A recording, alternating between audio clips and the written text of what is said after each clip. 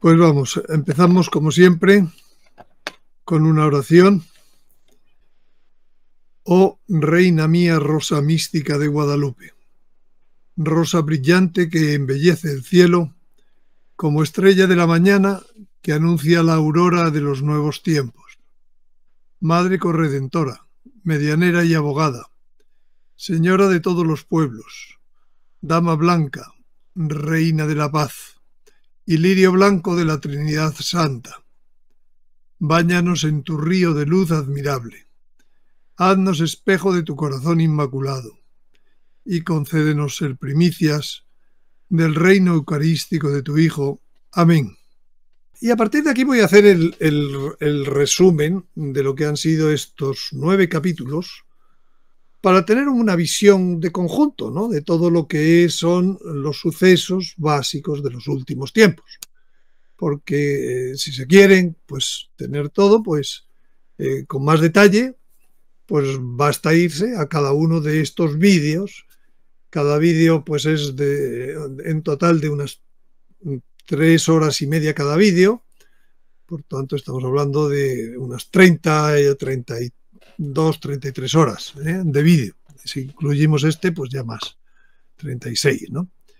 Entonces, eh, bueno, en el capítulo primero hablé, de este modo vamos recordando un poco todo los, lo que serían pues estos sucesos ¿no? de los últimos tiempos, porque el origen de esta serie, recuerden que fue encontrar un libro escrito por un jesuita eh, tomando distintos eh, distintos hechos de los últimos autores conocidos que hablaban de los últimos tiempos, eh, pues como Dostoyevsky, como eh, otros autores famosos, y yo quedarme pues muy asombrado de la cantidad, lo que faltaba para poder construir una, un escenario sobre los últimos tiempos. entonces, pues como pues pues tanta, tanto nombre y tan poca sabiduría, yo, decía, ¿no? Y de ahí me vino el motivo por el cual poner este, eh, eh, esta serie. Y entonces, pues vamos a ir recordando, pues al recordar los hechos, lo que ha sido esta serie, estamos recordando un poco todo ese conjunto de hechos profetizados de un modo o de otro en la Sagrada Escritura, en, las revelaciones privadas. ¿eh? Bien, entonces eh, en este capítulo primero utilicé sobre todo tres profecías clásicas eh, que dan de profecías sagradas que dan sentido a toda la historia. Eh, dos están en Daniel y una en el Apocalipsis. La primera profecía entonces es el sueño de Nabucodonosor, en donde una estatua que tiene una cabeza de oro, pecho de plata, piernas de bronce, pies de metal y barro, pues que representan a las grandes civilizaciones que habrá desde aquel momento hasta el fin de los tiempos, a la que estatua a la que se le cae de eh, una piedra no lanzada por mano humana, que reduce a polvo todas esas civilizaciones que han seguido un proceso de decadencia, partiendo del oro, siguen con la plata, el bronce, el hierro y el barro.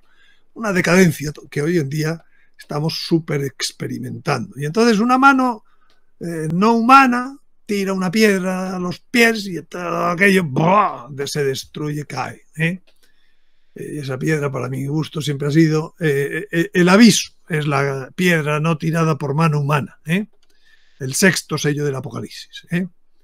Y a partir de ese momento, cuando queda todo destruido, hecho polvo por esa derrumbe, pues comienza un quinto reino que eh, es de otras características. Es el llamado reino de los santos, que durará hasta el fin del mundo. ¿eh? Es el reino de Jesucristo, el reino eucarístico y mariano, que se dará en la nueva tierra, en una nueva tierra. ¿eh? pasamos entonces de esta estatua, gran estatua de Nabucodonosor, en la cual todavía vivimos y a punto estamos de que todo se destruya, para pasar a otro reino, ¿eh? que no tendrá, ¿eh? que como decía el ángel Gabriel a la Virgen María, no tendrá fin. ¿eh? Eso es lo que significa la piedra que viste desprenderse del monte sin ayuda de mano, que desmenuzó el hierro, el bronce, el barro la, la, la plata, el oro. El Dios grande ha dado a conocer al rey lo que ha de suceder después. el sueño es verdadero y cierta su interpretación. Bien, dentro de esas profecías sagradas que dan contenido a la historia, la segunda es el, acertijo de las siete cabezas y la bestia, que está en el Apocalipsis, en el capítulo 17. Entonces, es la segunda profecía, ¿eh? Eh, en la cual, pues, la mujer, gran ramera, está sentada sobre una bestia de siete cabezas y diez cuernos. Representa al pecado en la historia, que se asentó sobre siete grandes reinos y un octavo y último reino diferente y más intenso en su maldad. Los siete reinos son sucesivamente Egipto, Asiria, Babilonia, Persia, Grecia, Roma y el actual, que se advierte que es el más breve de los, que los anteriores. ¿eh? El octavo reino es la misma bestia sobre la que monta la ramera, que es como un compendio del pecado de todos los anteriores, ¿eh? porque dice que es de los siete. O sea, ya eh, aquí se juntan en la octava todos los pecados anteriores. ¿eh? Y aún no ha llegado, dice. Bueno, pero no debe faltarle mucho. Porque cuando llegue, además dice que camina hacia su destrucción. Y a esta octava bestia le dan su poder estos diez reyes. ¿Mm? ¿Para qué? Para luchar contra el Cordero. ¿Mm? Y, pero el Cordero se advierte los vencerá. Se sobreentiende que entonces vendrá el reino de los santos, ese quinto reino de Daniel. Entre estos ocho reinos, sin embargo, no se identifica el reino de España, que fue tan importante como cualquiera de estos, o mucho más. Fue un reino cuyo desarrollo fue entre los siglos XVI y XVIII, de una manera global, ¿eh? porque decía Felipe II, no se pone el sol. ¿eh? En los anteriores, en todos, ¿eh? se pone el sol. Y entonces, pues, pues es curioso por qué no está España en esta interpretación. Y es curioso porque, porque España, eh, su imperio lo tuvo pues para mm, difundir eh, eh, la doctrina de Jesucristo. Ese reino de España está tomado en la Sagrada Escritura como figura de la nueva tierra, del reino eucarístico que pedimos en el Padre Nuestro, el quinto reino o reino de los santos aquí tenemos las siete cabezas, con el actual reino, y de la bestia salvaje que era, pero no es. Este es el octavo y es de los siete, con todos los maldades de los siete anteriores. ¿eh? Eh, los diez cuernos que has visto son diez reyes, que no han recibido aún el reino, pero recibirán con la bestia la potestad real solo por una hora están todos de acuerdo en entregar a la bestia el poder y la potestad que ellos tienen y harán la guerra al cordero. Pero el cordero como señor de señor, como es señor de señores y rey de reyes, lo vencerá en unión con los suyos, los llamados y elegidos y fieles. La tercera profecía que hablábamos en ese primer capítulo es eh, la profecía de la abominación de la desolación, la que ya hemos visto no hace eh, en esta misma sesión, pues hace un rato, ¿no? Es la profanación del templo o destrucción de la presencia divina en él, que va a tener dos momentos en la historia. El primero va a ser figura del segundo. Eh, por tanto, es un patrón, como es figura, lo que entonces ocurrió eh, es un patrón que llevó a introducir eh, la primera, eh, si seguimos ese patrón, de esa primera abominación estaremos sabiendo lo que va a ocurrir en la segunda abominación. Entonces, el patrón fue primero la instalación de una cultura helenística globalista, muy grande, muy extendida en toda parte, gran parte de Europa, mucha mucha gran parte de Asia, ¿no? Era una cultura fuertemente estatalista y pagana. El único dios que admitía era el, rey. Permea al pueblo de Dios esta cultura helenística, porque va asumiendo estas costumbres, estas modas, estos ideales. Y llega a corromper el sacerdocio en, Israel.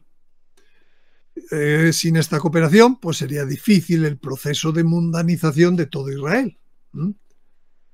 Se llega, eh, pasado la corrupción del sacerdocio, pues se llega a la destrucción del templo, a profanarlo y a sustituir la adoración correcta por la estatua de Zeus. ¿eh?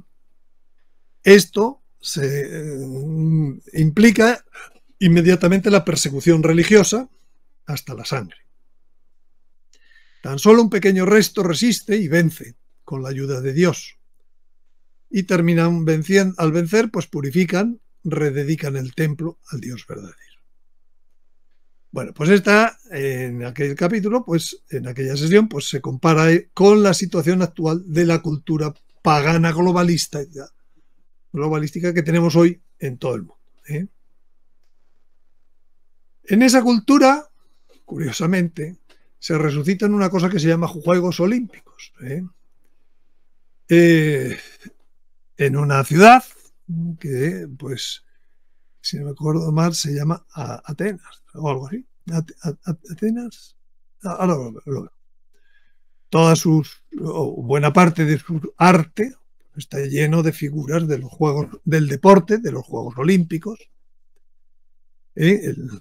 Todas ellas. ¿eh? Y curiosamente, hoy ha vuelto solemne ¿eh?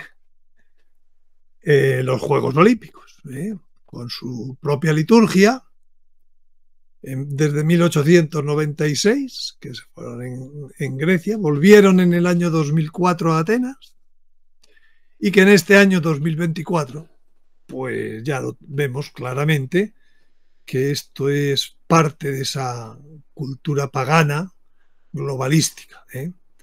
Curiosamente, hay este personaje eh, erguido, soberbio, ¿eh?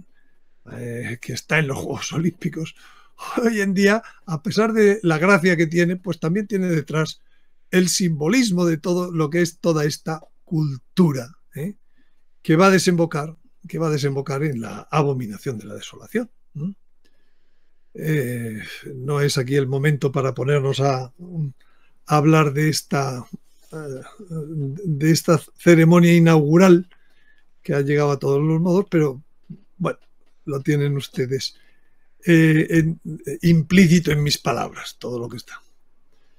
Bien, entonces este es el, esta es la ciudad. Un tsunami destruyó Olimpia. Olimpia era la ciudad origen de los Juegos Olímpicos un tsunami, un tsunami. Ahora va a haber una onda de marea global que probablemente destruirá todos los lugares bajos, quizás también París, ¿eh? quizás también París, ¿eh? ¿Eh? que está a menos de, mucho menos de 100 metros sobre el nivel del mar. En aquella cultura se daba el gimnasio, el gimnasio era una pieza fundamental para que luego eso se llevara a los Juegos Olímpicos, etc. ¿no? Gimno significa en, griego desnudo, desnudez. entonces, pues todo se practicaba allí en los gimnasios. y, hasta que Israel quiso tener un gimnasio. En aquel tiempo surgieron en Israel unos hijos malvados que sedujeron a muchos diciendo, vayamos y establezcamos una alianza con los pueblos que nos rodean. Pues desde que nos hemos separado de ellas, nos han sobrevenido infinidad de males. Desde que no somos globalistas. Este, esta propuesta fue de su agrado. Todo esto estoy leyendo el libro de los macabeos. Y algunos del pueblo se apresuraron a acudir donde el rey y obtuvieron de él autorización para seguir las costumbres de los gentiles. En consecuencia, levantaron en Jerusalén un gimnasio al uso de los paganos. Ocultaron la señal de la circuncisión. Renegaron de la alianza santa para atarse al yugo de los gentiles y se vendieron para obrar el mal. Bueno, y entonces pues llegó eh, este señor, Antíoco IV Epifanes, donde ya no les permitía celebrar el sábado, ni guardar las fiestas patrias, ni siquiera, ni siquiera confesarse judíos. Antes bien eran obligadas, obligados con amarga violencia a la celebración mensual del nacimiento del rey, con un banquete sacrificial. Banquete sacrificial. Cuando llegaba la fiesta de Dionisio, eran forzados a formar parte de su cortejo, coronados de hiedra, como se ve en estas, en estas historias. Y llegó el día en donde no mucho tiempo después el rey envió a un anciano ateniense para que obligara a los judíos a abandonar las leyes de sus padres y dejar de regirse por las leyes de Dios, y también para profanar el templo de Jerusalén dedicándolo a Zeus olímpico. Olímpico. ¿Eh? Lo repito, Zeus olímpico. El día 15 del mes de Quisleus, en el año 145, erigieron sobre el altar la abominación de la desolación. Aquí llegó. Zeus olímpico. El templo se llenó de desenfreno y orgías por parte de los gentiles, que se divertían con meretrices y se unían con mujeres en los recintos sagrados y asimismo introducían en el interior del templo cosas que no estaban permitidas. El altar estaba llena de cosas detestables, prohibidas por las leyes. Pues ahora habrá una segunda abominación de la desolación en la historia, que describe así, dice, seduce a los, el Apocalipsis, seduce a los habitantes de la tierra con los prodigios que le ha sido concedido realizar en presencia de la bestia, diciendo a los habitantes de la tierra que hagan una imagen de la bestia, que tenía una herida de espada y ha sobrevivido. Se le concedió infundir aliento a la imagen de la bestia, de modo que la imagen de la bestia hable y haga que todos cuantos no adoren la imagen de la bestia mueran. O como lo dice la Virgen al Padre Gobi, el cuarto signo de los últimos tiempos es el horrible sacrilegio, realizado por aquel que se opone a Cristo, por el anticristo. Entrará en el templo santo de Dios, se sentará sobre su trono, haciéndose adorar a sí mismo como Dios. Este vendrá a oponerse contra todo lo que los hombres adoran y llaman Dios, el malvado vendrá con la potencia de Satanás, con toda la fuerza de falsos milagros, de falsos prodigios. Hará bajar fuego del cielo, también dice el Apocalipsis. Hará uso de todo género de engaño maligno para hacer el mal. Volverá a traer a los nefilines. Un día veréis en el lugar santo a aquel que comete el horrible sacrilegio. El profeta Daniel ha hablado de él. El que lee, que entienda, dice eh, San Mateo. Hijos predilectos, para comprender en qué consiste este horrible sacrilegio, leed cuanto está predicho por el profeta Daniel. La Santa Misa es el sacrificio perpetuo, la oblación pura que es ofrecida al Señor en todas partes, desde la salida del sol hasta el ocaso. Sacrificio de la misa renueva el llevado a cabo por Jesús en el Calvario. Acogiendo la doctrina protestante se dirá que la misa no es un sacrificio, sino tan solo la Santa Cena. Esto es, el recuerdo de lo que hizo Jesús, de lo que Jesús hizo en su última cena. Y así será suprimida la celebración de la Santa Misa. En esta abolición del sacrificio perpetuo consiste el horrible sacrilegio llevado a cabo por el anticristo, el cual durará tres años y medio, es decir, 1290 días. Bueno, menos mal que después esto dará paso a la nueva presencia divina en el hombre. He aquí el tabernáculo de Dios está en los hombres. Y Él habitará en ellos. No como a veces se traduce entre. En. Y ellos serán su pueblo. Y Dios mismo estará en ellos. Es la palabra meta, que significa en composición en sustancialmente las mismas relaciones de participación o proximidad. ¿eh? Esto es lo que la Virgen enseña con la costura de la tilma de Guadalupe. Ella es el modelo que cose, que cose el velo del templo, un nuevo templo de piedras vivas, como dice San Pedro, o mi casita sagrada, como dice ella en la cumbre del Tepeyac. Él enjugará toda lágrima de sus ojos. Y ya no habrá muerte, ni habrá más duelo, ni clamor, ni dolor, porque las primeras cosas han pasado. Ella es el modelo de la nueva presencia divina en el hombre, no un templo de piedras. ¿Eh? San Juan no ve ese templo en la Nueva Jerusalén.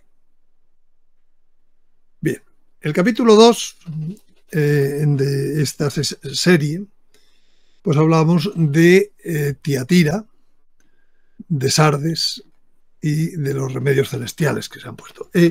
Hablamos con la otra profecía, la profecía que da sentido a la historia de las cartas a las siete iglesias del Apocalipsis y de la profecía de los cuatro reinos bestia de Daniel. Entonces, la primera carta que vamos a hablar para estos últimos tiempos es la carta a Tiatira. En el enfoque histórico de interpretación de las cartas del Apocalipsis corresponde a los siglos XVI a XVIII, cuando se da el endiosamiento de la razón. En este, en este capítulo, pues he hablado a fondo de lo que supone el nuevo rumbo a la teología y a la filosofía hacia el racionalismo uno llevado por Lutero, otro llevado por Descartes. ¿eh? En, la teología, ¿eh? Lutero, en, la filosofía, Descartes. Y en la ciencia empírica, ¿eh?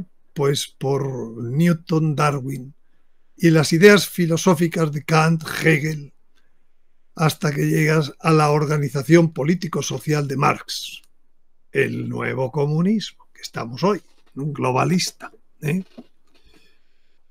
Dios viene, a pesar de toda este, esta gran desviación del endiosamiento de la razón, Dios viene en ayuda del hombre, de ese hombre racionalista. ¿Con, ¿con qué? Con la devoción al Sagrado Corazón, que enseña, empieza a enseñar en la tierra de Descartes. ¿Eh? y, con, ella tratando de evitar los errores de la Revolución Francesa y tratando de evitar el primer reino bestia de las profecías de Daniel, la pseudomonarquía inglesa y la República de Estados Unidos. ¿eh? Eh, después vendrá la República Francesa. Lutero tiene los tres grandes errores metodológicos de su reforma. Tres sola. El sola fides, el sola, eh, vamos, la sola gracia, a la cual la Iglesia dice la sola gracia y la cooperación humana. Hay tres is. Completo en mi carne lo que falta los padecimientos de Cristo. Nada de salir huyendo con las obras. ¿eh? Fe, y la, gracia y la cooperación humana en favor del cuerpo de la Iglesia. La sola escritura, dice la Iglesia, y, y la tradición y el magisterio. Porque dice San Pedro, no, ninguna profecía de la Escritura puede interpretarse por cuenta propia, pues nunca fue proferida profecía alguna por voluntad humana, sino que movidos por el Espíritu Santo hablaron los hombres de parte de Dios. Y a la sola fides añade la Iglesia también las obras. Mm. Muéstrame esa fe tuya sin las obras, y yo con mis obras demostraré mi fe, la fe, dice al apóstol Santiago. Esto en la parte teológica, en la parte filosófica. Pues vamos teniendo el racionalismo, el empirismo, el idealismo en los siglos XVI a XVIII, en el que vamos pasando de la verdad objetiva, demostrada, que también conocido como realismo, al racionalismo o subjetivismo, inmanentismo. ¿eh? Dentro de nosotros está la verdad. De la concepción teísta al racionalismo. Hay un cambio de foco hacia el hombre. Ya no, el foco no está en Dios, en lo que Dios hace y que eso es lo que es real. No, no. A partir de ahora va a ser real lo que yo pienso. ¿eh? Que yo, porque pienso, existo. ¿eh? Ya no se acepta que Dios sea, es diferente del mundo y su creador, al que todas las cosas tienden como su fin natural. Para los griegos la razón era el instrumento para comprender la realidad. A partir de ahora, la razón es el juez de la verdad. ¿Mm? La verdad en realidad se genera dentro del sujeto pensante. Yo existo porque pienso. Pienso, luego existo. ¿eh? La verdad no está fuera, sino que yo la alcanzo dentro de mí mismo. El racionalismo no va a aceptar a Dios y así convierte al universo en un ser necesario, no en algo contingente. La verdad ya no es la adecuación del intelecto a la cosa, sino una evidencia o propiedad de la idea o concepto. En el liberalismo, la verdad se genera por la opinión. Y esto llega a, los siglos XIX, XX y XXI, con el liberalismo, el socialismo y el marxismo. En el siglo XVIII el liberalismo es una doctrina política, social y económica. Como actitud vital propone la tolerancia. En lo político, defiende al Estado laico. Los derechos individuales, el libre mercado capitalismo, la igualdad ante la ley y el Estado de Derecho. Lo social, defiende la libertad individual, la, igualdad ante la ley y la limitación de los poderes del Estado. En lo económico, propugna la iniciativa privada y el libre mercado. Y el socialismo, que es un paso más, porque de hijos liberales surgen, eh, perdón, de padres liberales surgen hijos socialistas y nietos marxistas, eh, es un método de análisis y síntesis socioeconómico de la realidad y de la historia. Las relaciones de clase y el conflicto social son la base del desarrollo histórico, según su interpretación de la realidad. Tienen una visión dialéctica de la transformación social y un análisis crítico del capitalismo. Desarrollan una ciencia social unificada para comprender las sociedades divididas en clases que fundamentan una visión revolucionaria del cambio social. Hay que atacar la lucha de clases. ¿eh? Y la ciencia viene en apoyo de esa filosofía racionalista. Es decir, pasa de algo que tiene pruebas a, algo que ya solo tiene hipótesis. La ciencia, tras el éxito inicial del heliocentrismo, quiso arrasar a la Iglesia más que establecer la verdad. Newton fue el último que produjo pruebas matemáticas de fenómenos observados Después se establecieron meras hipótesis, como leyes ciertas. Darwin, por ejemplo, en El origen de las especies, asegura que el hombre no es creación de Dios, sino desarrollo a partir de simios por, relación, por selección natural. Bueno, hipótesis bien llevada. A, a una ley. Engels Dice, con Darwin la teología de la creación ha terminado, evidentemente. Y Marx dice, este libro contiene el de Darwin, contiene el fundamento natural de nuestra teoría, el comunismo. La nueva visión del mundo sirve para llevar sistemas políticos al poder. Así la religión fue tratada como opio del pueblo y acabó prohibida por ley jactándose de sabios, lo que decía San Pablo. Se volvieron estúpidos, cambiaron la verdad de Dios por la mentira, y adoraron y sirvieron a las criaturas en vez del Creador, que es bendito por los siglos. Amén. El resultado de todo ello es la apostasía, el fruto de los siglos de subjetivismo, de inmanentismo, de racionalismo. El ambiente subjetivista no solo seduce a la periferia además de los cristianos, sino que se termina introduciendo en el núcleo practicante, desnaturalizándolo. A través de fieles que tendrán la apariencia de piedad, dice San Pablo, pero desmentirán con su vida infructuosa su eficacia, la eficacia de la piedad. Los que, dicen los que dice San Judas, dice, dice que crean divisiones, los que San Pedro indica que dirán en son de burla dónde queda la promesa de su venida, los que dicen, como dice Sofonías, piensan, total ya ve, no hace ni bien ni mal, si es que ya no existe. Pues hemos llegado a la apostasía con todas estas ideas. Y además, la apostasía termina haciendo insensible a toda la sociedad. Toda evolución gradual lleva a, familiarizarse con el fenómeno y perder la sensibilidad sobre la magnitud del hecho, como los pasajeros de un tren, que solo perciben la velocidad a la que van al mirar por la ventanilla o sufrir un choque.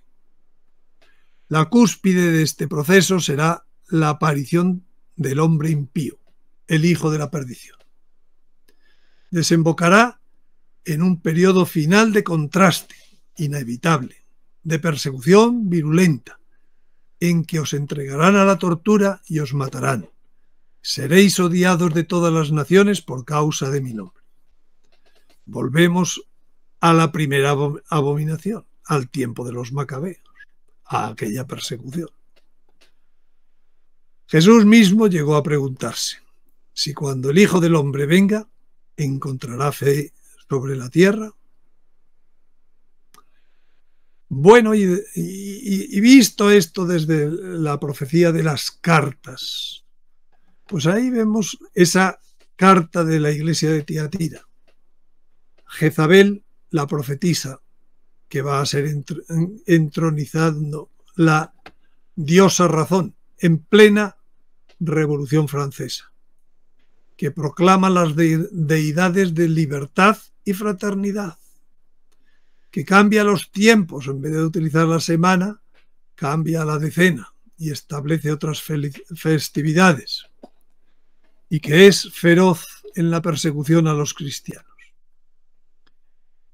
Dice, sigue diciendo la carta, he aquí que yo arrojo en cama y en gran tribulación a los que con ella adulteran, si no se arrepienten de las obras de ella. Por eso dice la Virgen, París será destruida por el fuego, Marsella tragada por las aguas. Y continúa el Apocalipsis. Y a sus hijos, a los que estamos en el siglo XXI, heriré de muerte. Y todas las iglesias sabrán que yo soy el que escudriña la mente y el corazón, y os daré a cada uno según vuestras obras. Repúblicas es los hijos de la Revolución Francesa, por todo el mundo, hoy en día. A sus hijos heriré de muerte. La nueva época el futuro no será una república, no será una democracia, será un reino. Verdadero rey, Jesucristo, a través de su vicario rey, el hijo varón. Y estos son los errores que ha enviado al mundo la Revolución Francesa en sus doscientos y pico años. La falsa libertad que institucionalizó el ateísmo en la organización del Estado, que desvinculó las leyes humanas de la ley de Dios que ha separado los tres poderes, legislativo, judicial y ejecutivo. Esa es la falsa libertad. La falsa igualdad el sufragio democrático y las leyes hechas por el pueblo, eh, por los parlamentos, que no son siempre para el bien común. ¿eh? Eh, el establecer el terrorismo de Estado, el terror de Estado o dictadura tiránica, como le decía Robespierre, la justicia rápida. Hay que ser irónico. Y que es la falsa igualdad que exporta y financia la revolución y promueve grandes guerras. A partir de ahí, Napoleón empezó las grandes guerras con ejércitos de millones de personas. Y por último, la falsa fraternidad que exporta. ¿eh? El asesinato de todos los monarcas, la persecución de la monarquía, la persecución a la Iglesia Católica, y la primera ley del divorcio, la persecución dentro de la familia. Pues llegamos entonces a la carta a la iglesia de Sardes, que es heredera de Tiatira. Y de todos aquellos lodos, perdón, lluvias o barros vienen estos lodos. ¿no? Tienes nombre de vivo, pero estás muerto. Estate alerta y consolida lo demás que está para morir. Lo que parece vivo está a punto de morir también. ¿eh? Pues no he hallado perfectas tus obras en la presencia de mi Dios. Por tanto, acuérdate de lo que has recibido y has escuchado, y guárdalo y arrepiéntete. Porque si no velas, aquello que se necesitaban las estrellas, vendré como ladrón y no sabrás a qué hora vendré sobre ti. Tienes en, pero tienes en Sardes algunas personas que no han manchado sus vestidos. No es una gran muchedumbre, son 144.000. Caminarán conmigo vestidos de blanco, porque son dignos. Le siguen, dice el Apocalipsis, estos 144.000, a donde quiera que vaya y son tomados como primicias entre los hombres. Y el que venciere, ese se vestirá de vestiduras blancas. Luego vendrá una gran muchedumbre que viene de la gran tribulación, en buena parte debida al testimonio de las 144.000 primicias. Jamás borraré su nombre del libro de la vida y confesaré su nombre delante de mi Padre y delante de su ángel. Y además de esas dos cartas que representan estos tiempos, pues hay cuatro reinos bestia, como resultado de la revolución. Es, Daniel habla de cuatro reinos al fin de los tiempos. Uno representado como león, león con alas de águila otro como Ozo, si se fijan, estos son también constelaciones, sanguinario y hambriento, un tercero como leopardo de cuatro cabezas, ¿eh? ese no es una constelación. Y finalmente, en la cuarta bestia, la amalgama de todo, de todo el mal, diferente a las demás, con su origen, por su origen y modo de formación terrible, espantosa, extraordinariamente fuerte. Tenía grandes dientes de hierro con los que comía y descuartizaba, y las sobras las pateaba con las pezuñas. Y estos son los errores de Rusia, así como los errores de la tía son los errores de Francia, de la Revolución Francesa.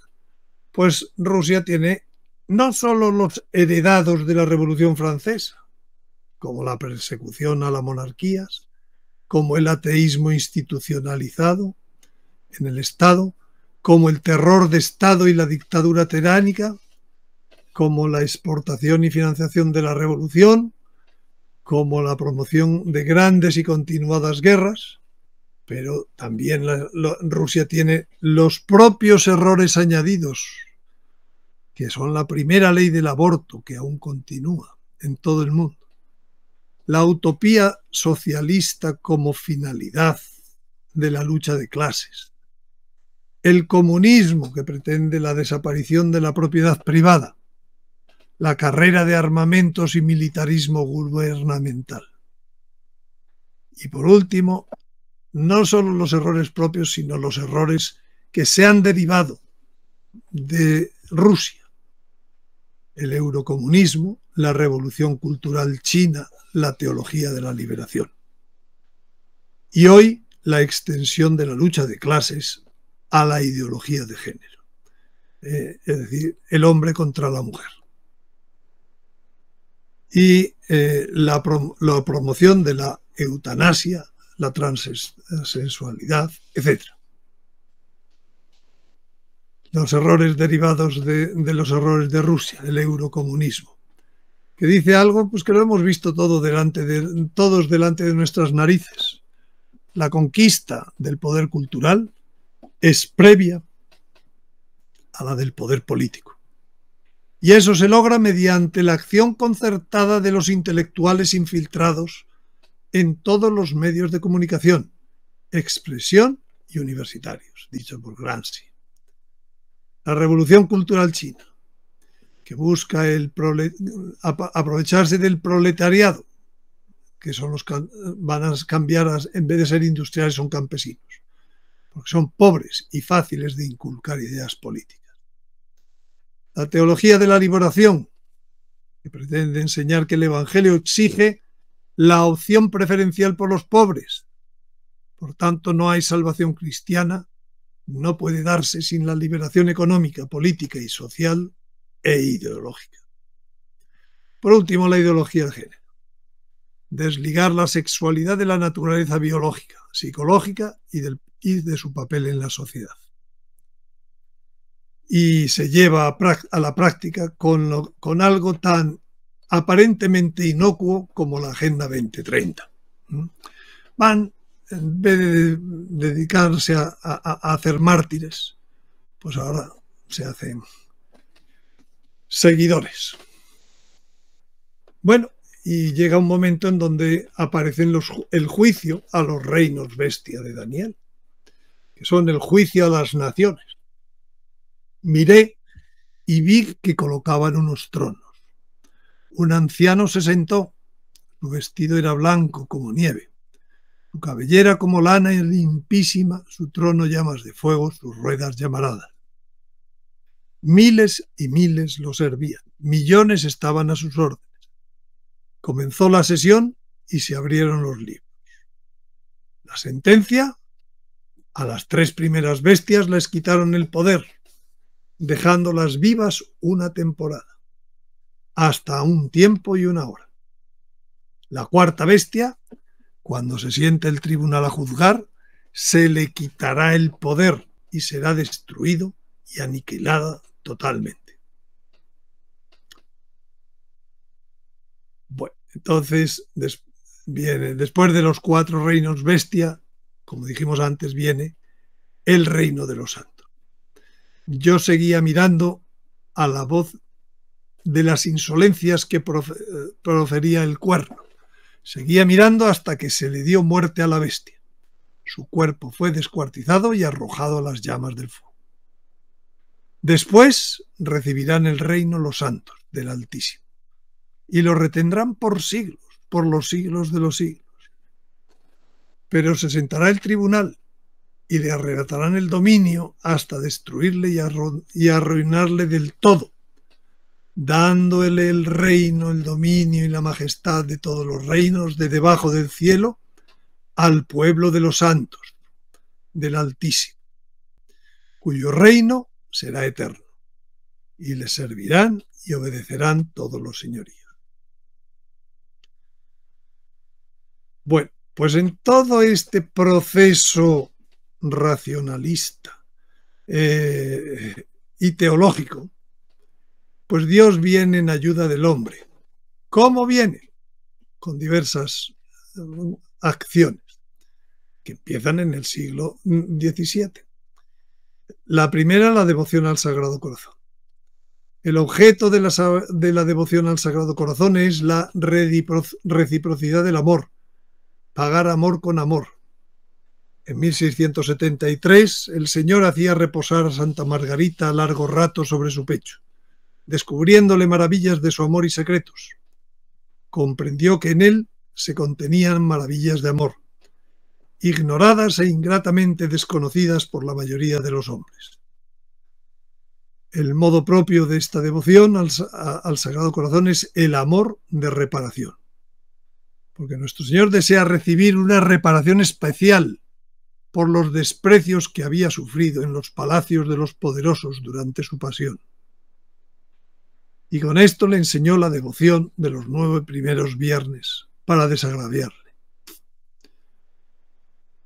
Les daré eh, las promesas a los que vivan esa devoción al Sagrado Corazón son, les daré todas las gracias necesarias a su estado. Daré paz a sus familias. Los consolaré en todas sus aflicciones. Seré su amparo y refugio seguro durante su vida y principalmente en la hora de su muerte. Bendeciré abundantemente las obras que redundan en mi mayor gloria, que redunden en mi mayor. Los pecadores hallarán en mi corazón la, la fuente y el océano infinito de misericordia. Es un avance de la devoción a la divina misericordia. Las almas tibias se harán fervorosas. Las almas fervorosas se elevarán con rapidez a gran perfección. Daré a los sacerdotes la gracia de mover a los pecadores más endurecidos. Bendeciré las casas en que la imagen de mi corazón sea expuesta y honrada. Las personas que propaguen esta devoción tendrán su nombre escrito en mi corazón y jamás serán borrados de él. Prometo, en la excesiva misericordia de mi corazón, que mi amor todopoderoso otorgará a cuantos comulguen nueve primeros viernes de mes seguidos la gracia de la penitencia final. No morirán privados de mi gracia ni de recibir los sacramentos, pues mi divino corazón se convertirá para ellos en seguro asilo en aquella hora postrera. Pero también más adelante vino con la devoción al corazón inmaculado de la Virgen, de María. Él quiere establecer en el mundo la devoción a mi, inmaculado corazón, a quien la abrazare, le prometo la salvación. Mi inmaculado corazón será tu refugio y el camino que te conducirá a Dios. Y se empieza esa devoción con la consagración personal y con la comunión reparadora de los cinco primeros sábados de mes. Consagración es confiar como niños. La perfección de la consagración es tener confianza como la de un niño en mí, tu madre. Esta confianza hace que tu alma recurra a mi inmaculado corazón con mucha sencillez y ternura. Tú me implorarás a todas horas, en todo lugar y por sobre todas las cosas. En tus dudas para iluminarte, en tus extravíos para que encuentres de nuevo el camino correcto, en tus tentaciones para sostenerte, en tus debilidades para fortalecerte en cada día para que yo pueda levantarte, en cada desánimo para que yo pueda consolarte, en tus cruces, afanes y tribulaciones de la vida para darte valor, para aceptar y soportar. Curiosamente, las apariciones que hay en el siglo XIX son principalmente en Francia. La medalla milagrosa en París, en el mismo núcleo de la Revolución Francesa, poco después, con los sagrados corazones de Jesús y de María, en la medalla que tiene, mandó acuñar. Y mostrando en su, eh, en sus manos una serie de rayos que le explica a, a Santa... Mm, eh, ahora no me acuerdo, le explica que son rayos, hay rayos que no están iluminados porque son gracias que nadie pide. En la Salet, en 1846, predice castigo sobre París y Marsella. Y dice que Roma perderá la fe. En Lourdes, en 1858, se presenta como la Inmaculada Concepción y pide el rezo del Santo Rosario. Y como Nuestra Señora de Fátima, en el siglo XX, solicita la consagración de Rusia al Inmaculado Corazón de María, para evitar que siga difundiendo sus errores. Esto lo dice el 13 de junio de 1929 en, en Tui. Y lo repite nuestro Señor el 29 de agosto de 1931 en Riancho. Las guerras posteriores a este pedido al Papa empezaron por la Guerra Civil Española, siguió por la Segunda Guerra Mundial, las guerras de Corea y Vietnam, las guerras étnicas de la década de los 90 en América Central, del Sur, en África, en Asia, en Europa. Se hace dos veces esa consagración sin mencionar públicamente a Rusia. Pío XII en el año 42, Juan Pablo II en el año 84. Tienen ciertos efectos positivos parciales, pero es cierto que Rusia ha podido, ha tenido tiempo para eh, expandir y difundir sus errores por el mundo entero y dijo que se acuerden del rey de Francia. Si no hacen esto, pues al final pasarán por la guillotina. Mm. Pero curiosamente, también hay otras apariciones menos conocidas de las que hablé en esta sesión, que son a la condesa Droste, nacida en Westfalia en 1863, que perteneció a esta congregación del Buen Pastor y que en 1894 en, en Porto pues tiene también unas apariciones del Divino Corazón, eh, del Sagrado Corazón de Jesús, pidiendo escriba a León XIII para que le consagre el mundo. Tras una primera mm, carta que no se hace, escribe otra carta el 6 de enero de 1899, tiene éxito. Y dice el, el Papa, en virtud de este nuevo impulso que, que recibirá, no, se lo dice el, eh, Señor a, María, a la Beata María del Divino. En virtud de este nuevo impulso que recibiría el culto de su Divino Corazón, hará resplandecer una nueva luz sobre el mundo entero. Con el resplandor de esta luz los pueblos y las naciones serán iluminados y con su ardor recaldeados. León XIII este acto, dijo, este acto atraerá muy pronto sobre el mundo las misericordias que esperamos. Voy a hacer el acto más importante de mi pontificado.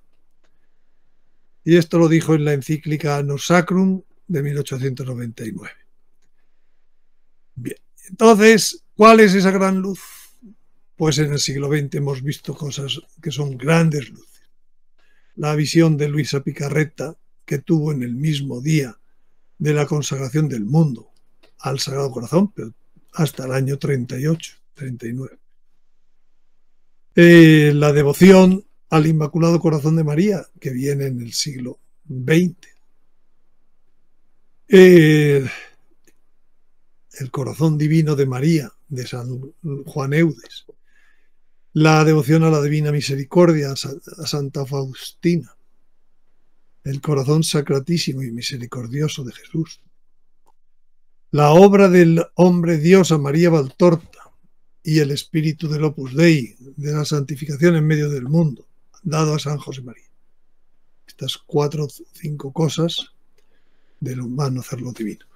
Estas cuatro cosas son las grandes luces del siglo XX, que se obtuvieron por esa consagración que hizo León XIII y a cambio no se obtuvieron las cosas que no hicieron ni el rey de Francia ni el Papa durante un siglo. La divina voluntad a Luisa, a Picarreta está metidos también en esa oración del comienzo de todas estas charlas. Al final dice, cuando le pedimos, báñanos en tu río de luz admirable. La devoción al corazón de Jesús y María y José, los tres en uno, cuando pedimos, haznos espejo de tu corazón inmaculado. La inhabitación trinitaria plena, o las primicias, la Eucaristía viviente, cuando pedimos, concédenos ser primicia del reino eucarístico de tu Hijo.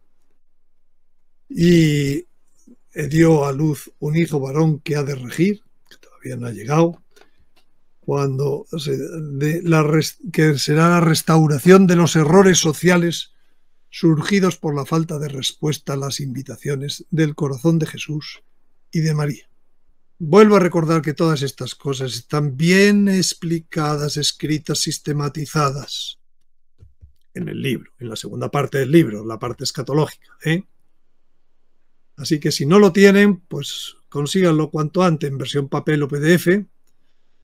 Pues recuerdo el canal de suscripción donde están estas series todas